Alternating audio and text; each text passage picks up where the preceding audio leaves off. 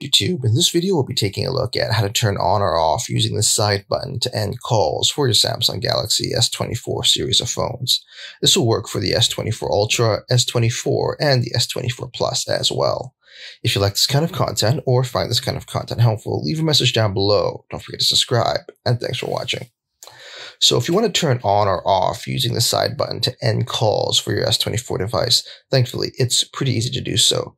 The first thing you want to do is actually jump into your settings in your phone app. So you want to open up your phone app.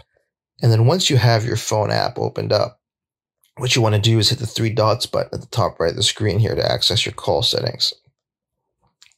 So when you're in your call settings menu, you want to scroll down and you want to look for the answering and ending calls category. And then from there, you want to hit answering and ending calls. And then as you can see, there's a side, there's an option to press side button to end calls in this menu.